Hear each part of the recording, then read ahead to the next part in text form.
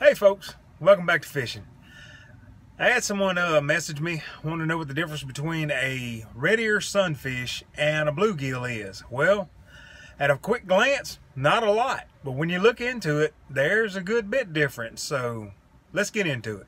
I always want to start off with the records because a lot of people want to kind of know, you know, it's a very interesting topic. What's the biggest one of these, whatever that is, that I can catch?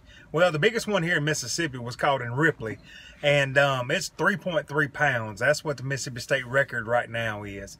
And um, the United States record is um, six pounds and three ounces. And um, I think the overall length on that was 17 inches. Now, what does a shell cracker eat? Now, most commonly, they're going to eat snails. That's what they want to eat. Now, they'll eat other things like um, crawfish, smaller insects, um, insect larvae, leeches, minnows, um, any other smaller animal that lives in the water. Um, white grubs, yellow grubs, things like that. But that's that's predominantly you're going to be your diet. If you're looking for red ear, and it's not spawning, those are the things, those are the lures, the plastic lures that you're going to look for. That's the colors you want. A solid white, either that or a, not so much a chartreuse color, but more of an actual real yellow, yellow colored grub worm. I've caught them on that. I know I've caught them on chartreuse too, but as I got older, if I'm actually fishing for red ear, I'm going to use a yellow grub lure, something close to an inch or less long. Now, what I normally do is I'll buy the longer grubs and take and just break it in half. And I'll take that and I'll, I'll jig fish with that. And that way you get two lures for the price of one. How do I identify a red ear sunfish or sun or shell cracker? Most commonly around here, a lot of people call them shell crackers. But um, behind the gill plate, where normally on a bluegill, there's this bluish black dot on the backside of the gill plate on a bluegill. This has either a red little outline on the males or a orangish yellow color on the females. And um, one big distinct difference is the red ear have an actual, people call them another set of teeth. They're not actually teeth, but there's another set of plates in the back side of their throat that they use to crush the shells of the snails that they more commonly feed on. But um, an adult red ear sunfish is going to be about eight, nine inches long. And average, you know, an adult, you're looking at about maybe two pounds. That's the overall size that you're going to get on a, on a, on a regular one. But they tend to congregate with bluegill and other panfish, but most commonly bluegill. And they have been known to actually spawn and breed with other bluegill and create hybrids. That's also pretty common. The bluegill are normally darker colors. I've seen purples, blues, you know, dark greens. Your red ear sunfish tend to be on the lighter side, you know, on the lighter greenish yellow colors, a, a higher color. And they do have the side striping colors like the bluegill, it's just lighter shades. Now, as far as where you're going to find your red ear sunfish at, predominantly the same areas that you're going to find your bluegill around stumps, around wooded structure, around um, lily pads, algae covered area. But they really, they really like the aquatic vegetation because the snails that they feed on like the aquatic vegetation but you'll find these congregated in schools with brim in the same areas that brim are. Now, red ear tend to want to go to deeper water. They fish, or they fish, they hunt normally along the bottom. They're surface feeders sometimes, not as much as a bluegill. You know how you hear a bluegill early in the morning smacking on the top of that water eating algae and stuff? Unless what they primarily want to feed on is getting slim, the the red ear sunfish is, is going to feed along the bottom and they're feeding on completely different things than what the bluegill is so fish bouncing across the bottom that's what you really want to do a lot of times what you'll do is chunk your lure out with no split shot, no weight, just the hook and just just the lure or the minnow or whatever you're fishing with. I tend to fish with no weight at all because you're going to find your red ear in dead still water. Most of them are in no current at all. They don't like being in current. That's not their primary location because you're not going to find the snails. You're not going to find the leeches. You're not going to find the small minnows in heavy current water or even really in, in a light current water. Those things tend to come kind of congregate towards dead water and that's where you're going to find your red ear sunfish at. Now, what a lot of people don't know about the red ear sunfish is they are very important to the body of waters that they are in. They are what a lot of people call the parasite police. The snails that they feed on are necessary for the life cycle of quite a few different kind of parasites that live in fresh water. Um, before I get into this and and and mess it all up, here let's let's take a minute and check this out from another YouTuber.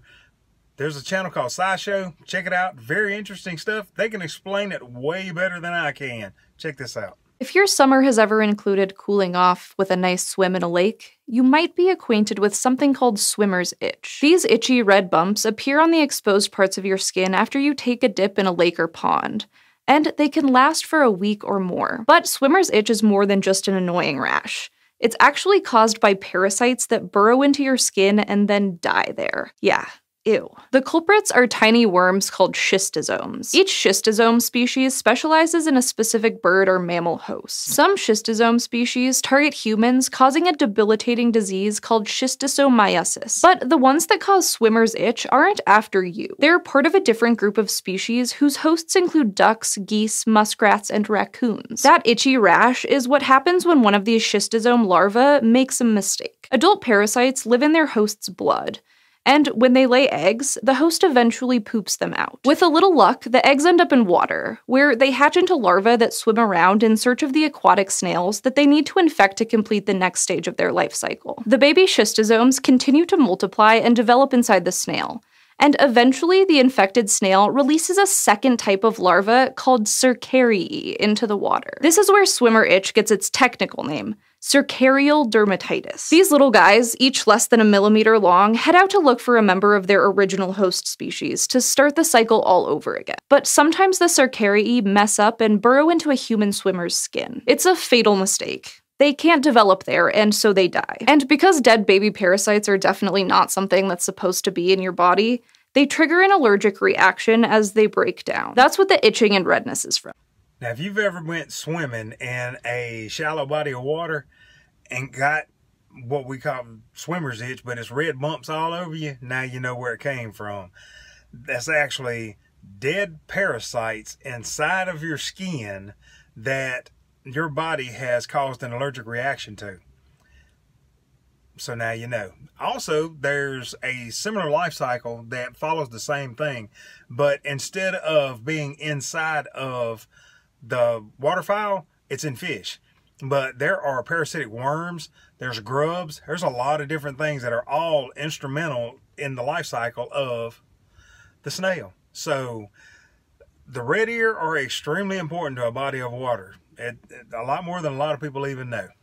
Now, when to catch red ear sunfish or shell crackers?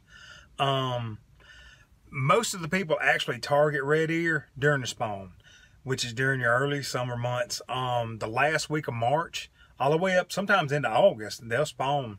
But the thing is, unlike bluegill, bluegill can spawn as many as five times in one year. Um, your red ears only spawn once.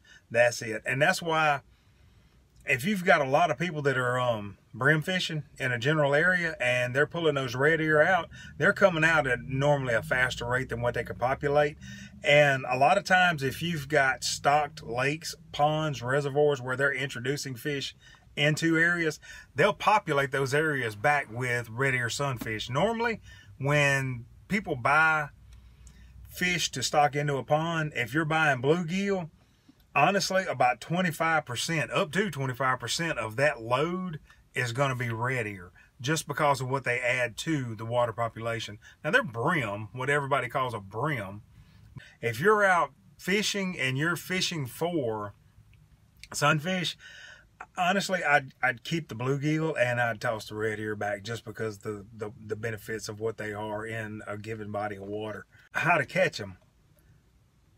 Extremely ultralight gear. You don't need anything fancy. You can catch them with a cane pole. I use the little Dock Demon. Very light little rod, but you just cast it out and you flick it. Just flick the tip and then reel a little bit flick the tip and reel a little bit.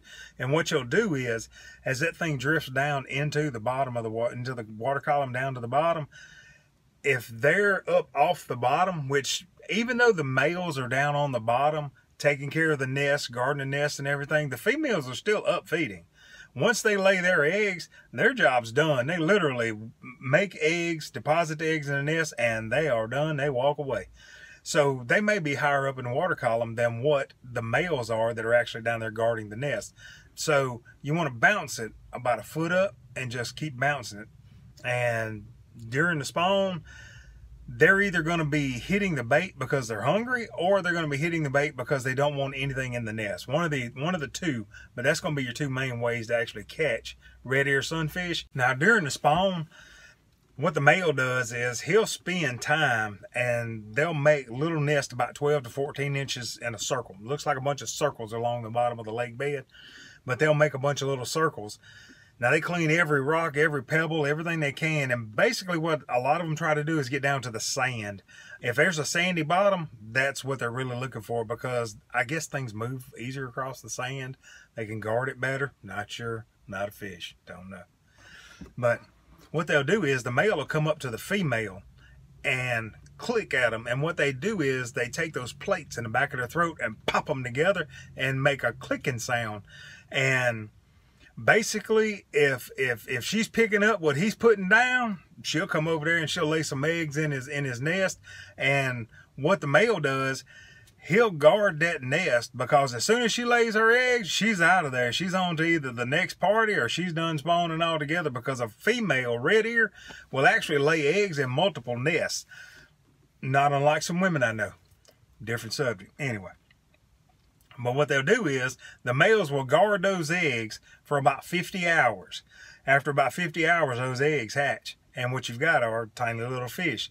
Now, what the males do is they will guard those baby fish for about probably about three days. And after about that third day, hey, they hungry, they bored, they got stuff they got to do, man. They out of here. They on their own. And the ones that don't get eat by birds, and the ones that don't get eaten by other larger fish, well, they live on to next year to to make some new red ears. But one of the other interesting things is it has to do with the temperature of the water in itself in the area of the United States that it's in. And as you get further north, there's actually creel limits on red ear sunfish because of this. But in the warmer climate down south where we're at in Mississippi, Florida, Texas, you can have a spawn and the next year those babies that were spawned those fish are able to reproduce again that very next year. So whatever school of fish that you know was was hatched out that year the next year they're making more babies. But up in the northern climates because red ear because of their benefits of decreasing the parasites in the water they've been introduced all over the united states. Now they're native to the southeast united states predominantly found in texas in the colder climates it takes two years that next season those fish that were hatched out are not ready to spawn again.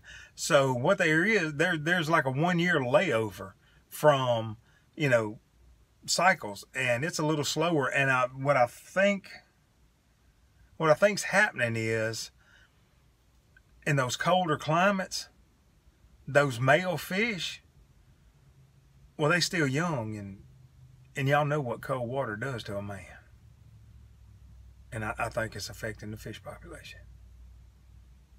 Now, as far as tackle on what to use to catch a red ear sunfish, I wouldn't go any heavier than a 10 pound line, probably about six to be honest. I, you know, I think that's what's on my little Dock Demon reel is um, six pound test line.